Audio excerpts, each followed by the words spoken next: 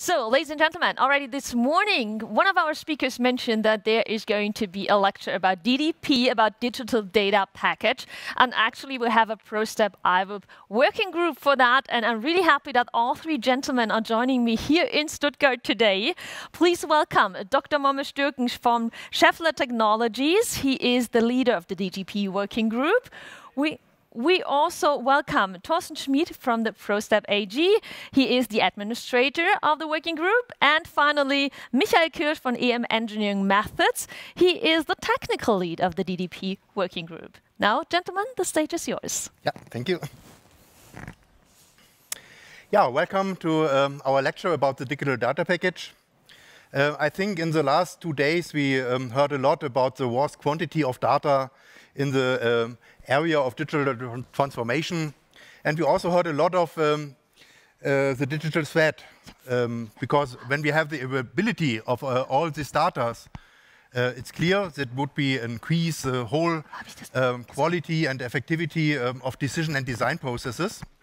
And uh, we heard a lot of um, approaches um, which concentrates more or less on, on inside uh, digital thread, which is also very difficult, as I know. Uh, but when we come to cross-company, to cross-company digital thread, this is a great challenge of today. And this is why we had the idea to create such a digital data package. Um, as to the agenda, um, at first I will give you a short introduction, and then Thorsten uh, will pr present some very interesting specifics uh, of our project collaboration and organization. Uh, after that, we come to the proper focus of, of the speech, um, the technical aspects, the architecture, the implementations, and also the demonstration of the digital data package.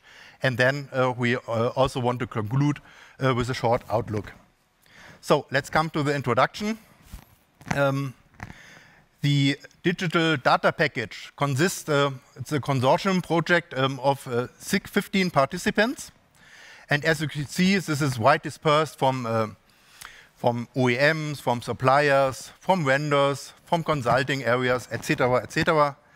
But we all have the same target, and the target is that we want to support cross-company and cross-domain collaboration during the whole product lifecycle for systems engineering, based on linked MBSE standards. This is our mission. And why is this so important? Because today we have a lot of um, um, standards at the ProStep ivip um, which can support uh, the data exchange for single disciplines. For example, I can exchange demands uh, with ReqIF, mechanics with ProStep JT, architectures with SysML, etc., etc. But the interdisciplinary links, the whole system description, this falls by the wayside today. And uh, the digital data package addresses this lack of communication. Um, yeah, on the next uh, slide, you see um, a vivid depiction of the situation. No, on the left side, we see the situation of today with all the um, standards no, which can uh, support the, the, exchange of single disciplines. But what we want to do is we want to put all the standards into a packet, connect it with the interdisciplinary links, provide it with a content overview so that you can see uh, on, at a glance which is in the packet and uses for the communication between companies. Um, yeah, uh, as you can see here, the idea is that we can use it across the whole V model, which is clear that we have to uh, uh, involve a, a, lot of relevant standards into the package on the one side.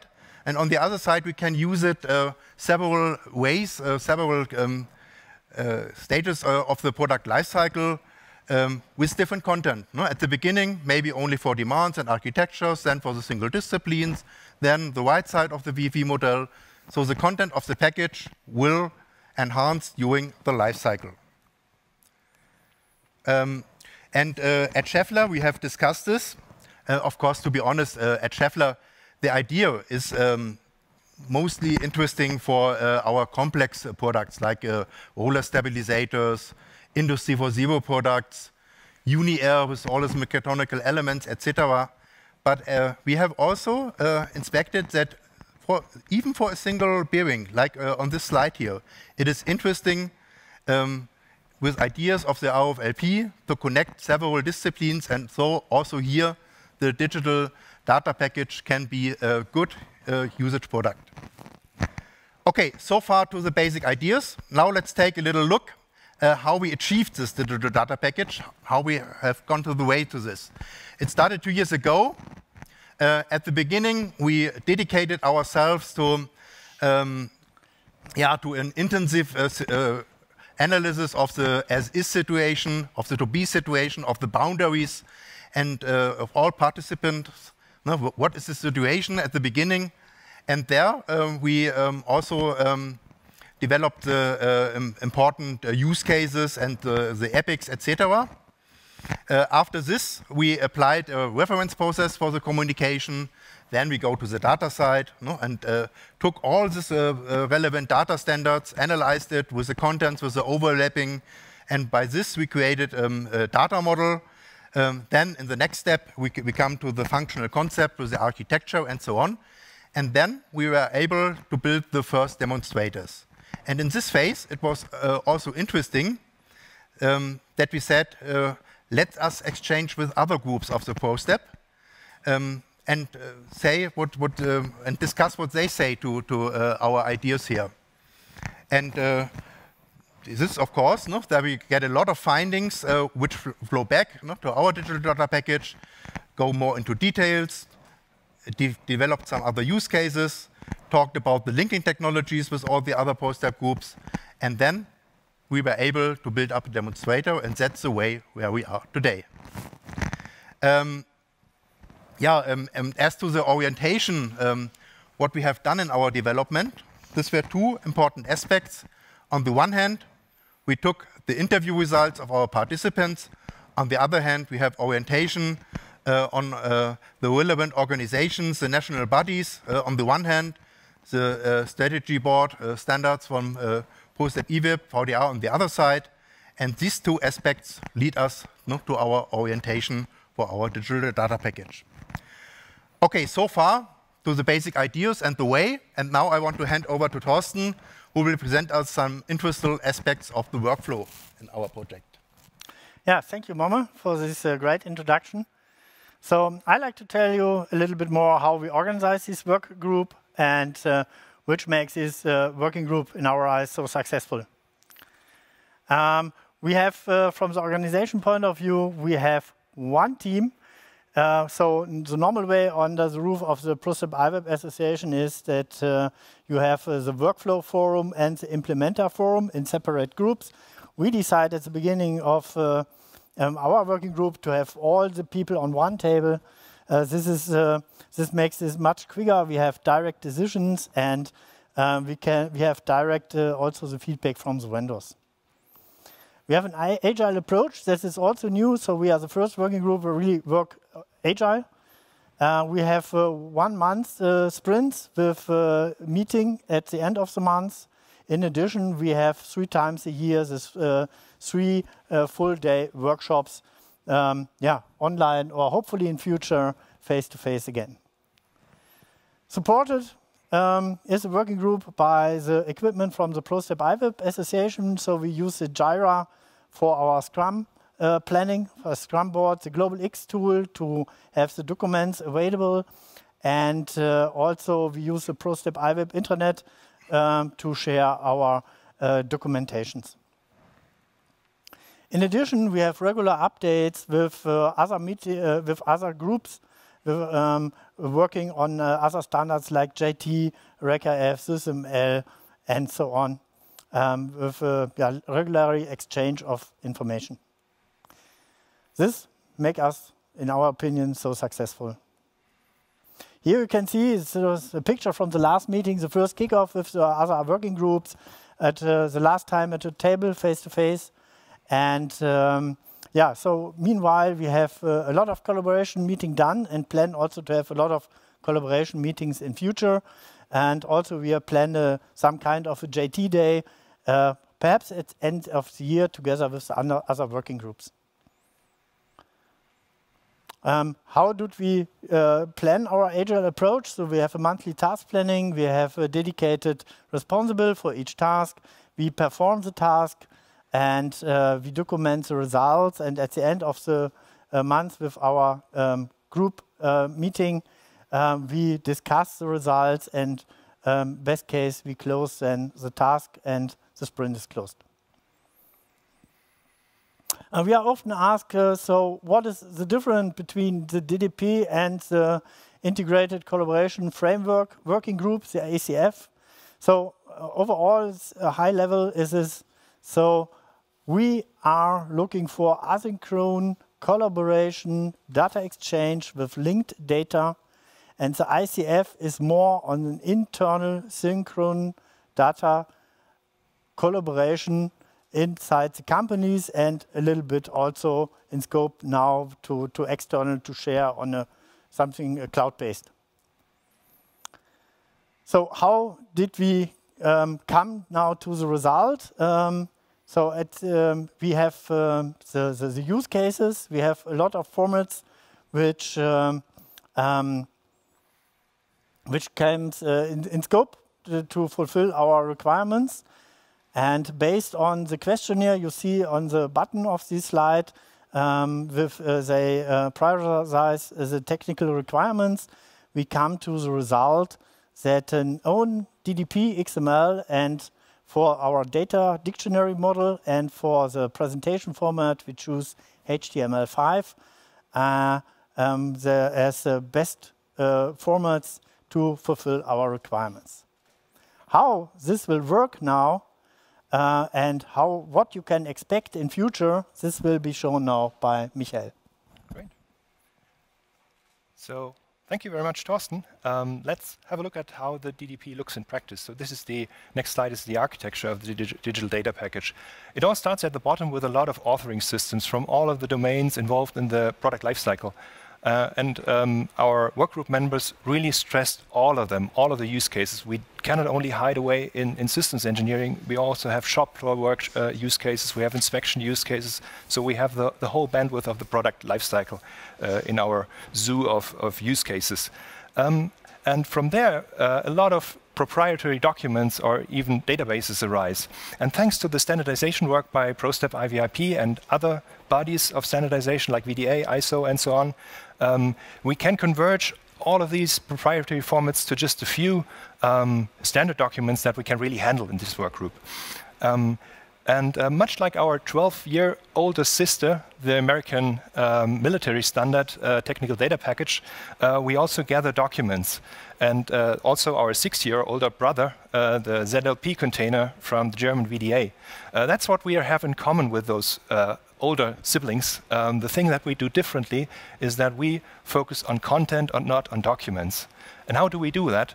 We first get all of the content out of these documents, that the content that we need to link, um, and from there we do everything else. From there we, we create the links inside uh, each part, each format, uh, and also the links across the formats. And this allows us to present the top layer, the presentation layer, what we call the uh, the DDP, the, the, content overview, in which we can present 3D uh, geometry, but far beyond systems engineering uh, content like use cases, functions, product testing cases, and so on, even source code. So this is the, the presentation layer that we can deal with. Um, so um, let's, let's go to the next slide, Thorsten. Thank you. Uh, so how do you sort out the content from uh, about 40 standards that have been handed over to us uh, from the standardization strategy, strategy board? Um, what we really need for the DDP is kind of a grid to sort it all in. And this is uh, what our functional data model is all about. And this is what you can see on this slide. This really covers the bandwidth of entities of objects that we cover in the DDP. Um, it is as wide as the use cases addressed in the DDP, but not deeper than we really need to address all the links that are inside. So let's have a look at how the DDP looks in practice, and maybe we can jump over to the video on the next slide. Um, so uh, on the top of the page, we find that content overview, the, the package information, metadata, um, and everything's linked. So if I think I need to, to uh, pop Momme an email, I can start to there right away from here. Um, then we find contents that come with the package and also content uh, which we add uh, in the collaboration on the package. Here we have the standards, and from each standard we can jump to the specifying, uh, specifying documents. We've got a geometry view in this HTML5. Uh, and at the, bot at the bottom, this is, this is really the, the interesting part of the DDP. This is all of the content mapped to our data package, uh, mapped to our data model in a very visual uh, and an intuitive way. Here you find all the content harvested from the original uh, documents. This is one of them, so a Cameo uh, MagicDraw um, uh, model. And let's have a look at this use case, if we can find it in the digital data package. Um, we're searching for the name, uh, something with energy. Now here we find the use case, then we find the role attached to it. So this is what we have harvested from the, the source file. And now let's uh, add a comment to it uh, by just uh, popping a comment in this, uh, in this uh, text box, add it to the data package, and instantly it appears on the top of the page. Um, and uh, it's not only a text, textual content, it's not only a table, but we can jump back from there right to the content on the bottom. So everything is, uh, knows where it is, everything knows what object it uh, refers to. Um, different content is needed for different purposes, and for that reason, we also pop all of the use cases that we know in the digital data package. Um, and from here, if I select a use case, uh, those entities uh, will pop up which are needed for this use case. So we have a mapping between collaboration intent and the content needed for it, which allows easy navigation for people. We also have a link to a collaboration thread. This is optional. And for example, in this case, uh, we use Microsoft Teams. Um, live uh, stream opens up, uh, and in this conversation, attached to this very digital data package, we can do communication. So here, this has been recorded a week ago. Um, Thorsten is uh, logged in, I'm logged in, uh, and now let's, let's discuss about the digital data package from here. So we have a question about uh, some geometry in it. Um, and uh, well, um, Momme will pop in in a minute. Um, and from there, if we want to do deep collaboration, uh, we can jump into the files which are inside the digital data package and open them in the viewers or authoring systems right from there to, to be able to collaborate. Um, so in this case, uh, we have the Mars rover. Um, it is in the digital data package, and we go beyond what is shown in the content overview. So we pop into JT2Go uh, and discuss uh, the geometry and the details over there. So that's basically how the digital data package works. Um, and uh, what we wanted to stress is this is really the um, this is available today. Uh, we all believe in the cloud, uh, but the cloud maybe is the future. There's some work to do, and the digital data package is available right away. So, Momme, let's talk about the future. Yes, thank you, Michael. Um, yeah, I think the presentation and the demonstration they show two important upshots. On the one hand, the traceability that can provided by a digital data package, and on the other hand, uh, the communication it is possible. No? You can see all it, uh, the content at a glance. We have uh, very comfortable navigation uh, possibilities no? to handle with the contents, etc., etc. And now, um, and within a short time, we will put it into practice. Um, the first use case is for uh, AVL and Daimler, who decided to test it for simulation phases, for early design phases. And here we will see how it works. Besides this, um, the vendors um, uh, in our um, team um, with ANAC, uh, Elysium, um, also ProStep, they have a, a lot of uh, good ideas and uh, uh, researching projects at the moment. and we will see, we were at a glance how it works. So this leads us to the outlook. In future, yeah, we are on the home straight for the project. Uh, and at the moment, um, we focus then uh, on the documentation, on the recommendation, because we want to put it into a standard, and on the other hand, to the collaboration with the other ProStep groups. Besides this, we have a lot of discussion at the moment uh, about the continuation and the presentation of the project. Um, I think we will, uh, in the next year, see um, um, we have to accompany the implementation, we have to follow up the best practices, and we also have a lot of, uh, of work um, with uh, other relevant standards, other relevant use cases, we will see. Okay, thank you. And so we are open now and for the question. Gentlemen, thank you very much for that presentation. And of course, I received some questions from the audience. So let's jump directly to the Q&A. Marcus wants to know, is the ultimate goal of DDP to reuse components in order to build systems of systems across multiple partners? Um, so the idea is uh, we, we build a package so it can be resolved in the target company. So it's built in one company, it's assembled to the package, and it gets resolved in the in the company where it's received. So um, it is it is a system so system of systems, but it's only for the time it's uh, the data ex is exchanged. Okay, wonderful. Stanley wants to know: Do you intend to consider the quality information framework in DDP? Absolutely. Yeah. Yes, absolutely. This, this, is of course one of the of the open works no, that I mentioned. yeah, we, we know we have to do it. Uh, very good. Still point. something ahead of us. Yeah. okay. It's for the whole validation and verification. No? There we have to make a lot of inspections there. So, next question comes from uh, Thomas. From the presentation, it seems you can only handle the applications mentioned on your slides. How could I extend the DDP to also include data from uh, other arbitrary applications used inside a company? Mm. So the, the key is uh, the standard documents that have been focused in the in the SSB. So uh, warm hello to Sebastian Handschuh and Markus Grastel of the, the SSB working group. So they give the framework uh, for what we are dealing with. So once uh, a company can accommodate to these standards, uh, we can digest in, it in our digital data package. Perfect. So I can see there are some more questions coming in right away, but unfortunately time is limited. I see the red everywhere. so we have to go to the next presentation. But of course, the gentlemen are going to answer all of your questions coming in later on on the platform. So once again, thank you very much to you.